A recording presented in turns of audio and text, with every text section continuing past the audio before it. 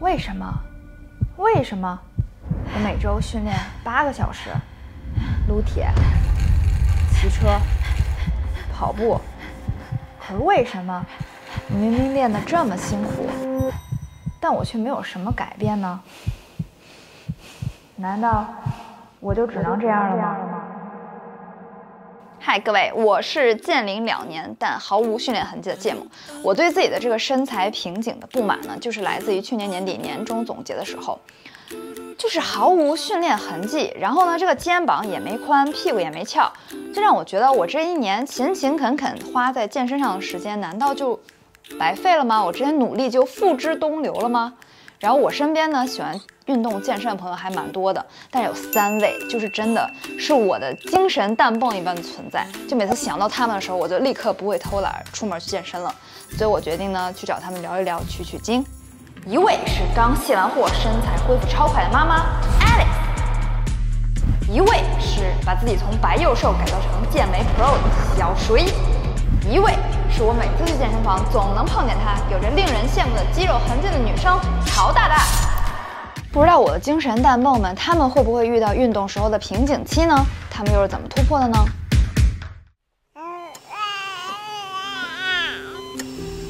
去年三月呢，Alex 拥有了菜卷儿，但仅仅不到半年，她的一期夏季背心穿搭立刻就大秀身材，我当时都惊了。你生完孩子多久你就开始？运动了就包括在家或者出去，马上 先让核心开始有感觉，对对对，再激发一下它。我是感觉就是从原来怀孕的时候，我没我没有保持特别强的运动量，然后但是我觉得就是你扔掉运动的习惯是很快的，嗯，因为惰性是天性，对，并没有说我不练了浑身难受，还是很快就接受我不用练了这件事儿。我肯定有一个更喜欢的状态，但我从来都是就喜欢那种状态，但是并没有给自己特别明确的就计划要怎么练成那样。好像呢，就是看到成果的时候，对我来说是一个意外的一个结果，宇宙给我还愿了。现在我就是结合产后的这个，本来就是一个在变化很巨大的时候，我觉得已经就符合我自己的预期了，而且我也确实会比以前比对自己更宽容了一些。我毕竟经历了这么多，然后我的身体还能给我这样的回报，他又很好完成了给他的任务，就就会更爱自己的身体一些。有一天我在那健身房里看另外一个女的，她练得很好，然后但是在其中有一项运动就是要在那个跑道上面抱着跑，她没完成，就她到一半就自己就溜下来了。那我比她强啊，我还不如别人跑得快，我都能坚持到后面，我都敢上去跑。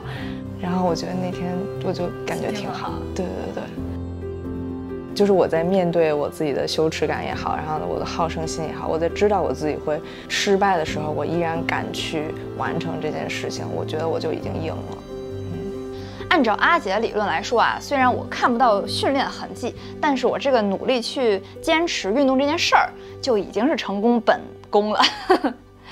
说不定啊，我这份坚持，某一天宇宙也能看到我，就给我回报了呢。你们说是不是？别看他名字叫小谁，他还真一点都不小。他真的是我身边因为健身改变最大的一个人了。就从一个健身爱好者变成了健美选手，我相信在这么大的改变过程中，他一定有很多个瓶颈。那他是怎么突破他们的呢？我是经过无数次的瓶颈，但是如果你每经历一次瓶颈，你突破过去了以后，你真的是又一次改变。女生特别容易有这种问题，因为我们的激素水平，而且我们的那个训练重量都不会像男生似的不停的往上加。我今年备赛就特别不容易，你一般到这个时候，你就会想我图什么？我为什么要这样？当你坚持下去，然后你站在那个舞台，然后看到自己的那个状态的时候，你就觉得一切都值了。有一句话一定要记住，叫心态放稳，训练放狠。肌肉不是一天练起来的，你不能说我练一个月我就翘臀了，我练两个月然后我就能肩翻出来了，或者不要有这种不切实际的想法。但是你在训练的时候，你一定要对自己狠，你不要把自己当一个女人。不要让自己觉得一百二心跳就已经很不错了这种你知道吗？对二一慢放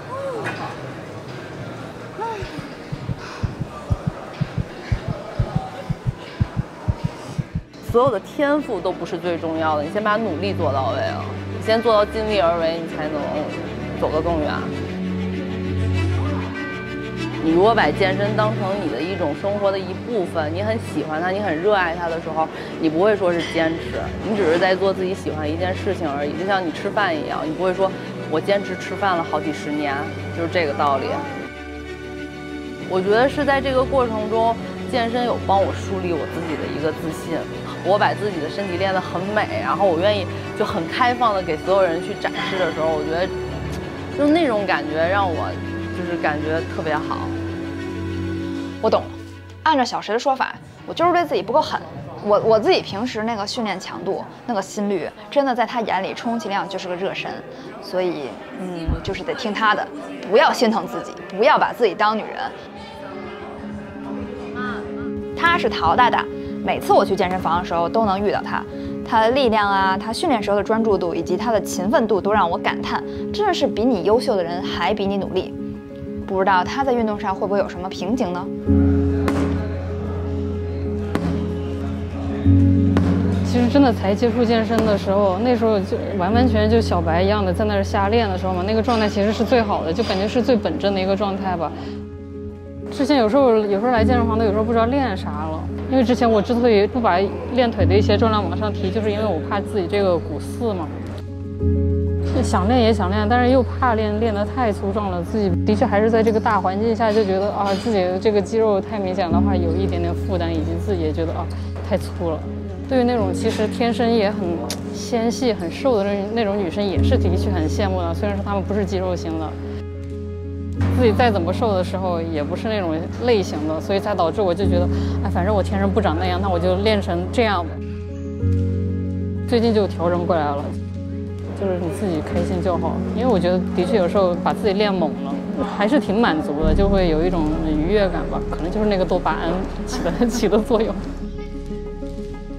反正有时候穿的比较少的时候，就反正别人都会过来赞美一句：“哎，你练的不错，或者怎么的。”那时候人嘛就会觉得，对对对，自己也会很开心嘛，被别人夸奖了，或者自然后自己也会更加更加的想要去练这个东西。